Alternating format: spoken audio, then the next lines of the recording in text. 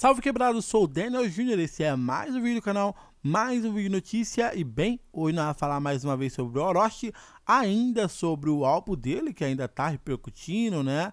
Tá tendo muitas críticas e o pessoal tá meio dividido, bastante pessoa gostou, bastante pessoa não gostou, eu particularmente achei um álbum raso e repetitivo, já falei sobre isso aqui, mas basicamente agora identificaram uma indireta dele pro negão da BL, então, já deixa o like que eu vou dar contexto para vocês.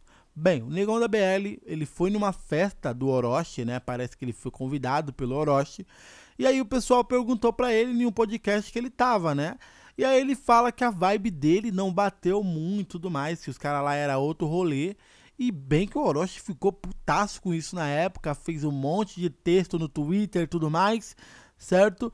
E quando achou que tinha acabado, o negão da BL foi atacado na música Neurose pelo Orochi. Logo, no seu primeiro verso da música Neurose, o Orochi fala assim, ó. Não é porque eu uso BL que eu falo merda na net. Minha vivência não cabe em duas horas de podcast. Bem, eu vou colocar o trecho da música do Orochi, mas também vou colocar os dois trechos do Negão da BL falando no podcast. Basicamente, um dos trechos ele fala sobre uma festa do Orochi, que ele foi convidado e tudo mais, que ele não pintou muito o clima e quis ir embora. E o outro trecho ele fala de como funciona o trap carioca, né, em questão das empresas e tudo mais. Ele aí usa o nome da Main Street, né? E aí o Orochi ficou puto. Eu vou colocar os trechos. Não é porque eu uso BL que eu falo merda na net. Minha vivência não cabe duas horas de podcast. Não, tu fala que no clipe rolou nada demais, mas eu sei que pós-clipe, rapaziada puxou lá pro João, pra casa do Orochi. Deve ter alguma historinha, alguma revoada que rolou lá, não, mano? Viado, vou falar pra você de coração. Eu fiquei lá 20 minutos. Que isso, cara? É porque, porra, não sei explicar, velho. Eu sou assim. Não era é- teu ambiente? Se não era o meu ambiente, era, pô, funk, proibidão, é meu ambiente. Só que não era a minha rapaziada. Ah. Tá ligado? A minha rapaziada. Eu sou muito assim, não é minha rapaziada. Não que o vagabundo tem que render homenagem pra mim, não, viado. Não, cada um pá.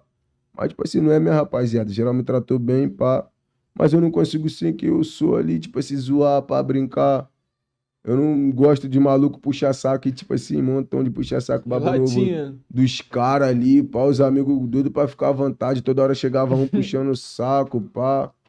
Então, tipo assim, é um bagulho que me incomoda. Até o cara que, no meu áudio, o cara que vinha puxar saco.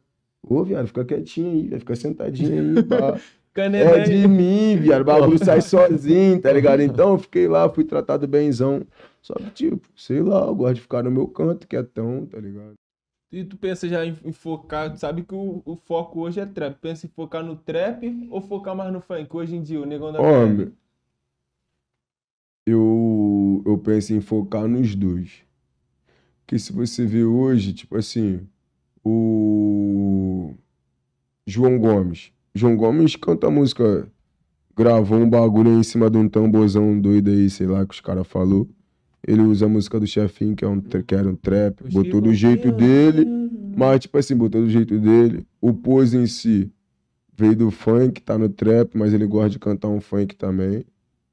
Então, mano, eu acho que, tipo assim, se ah, você vai investir no trap, pá. Eu, eu, como eu sou compositor, viado, eu gosto de investir na, na que vem. Tem várias braba. Tem braba que é do trap, braba que é do funk. E vou tacando, fi. Vou tacando ficha, fi. Estourou uma, mil a zero. No show vai ter funk, vai ter trap, vai ter forró, vai ter. Foda-se, vai ter tudo, tá ligado?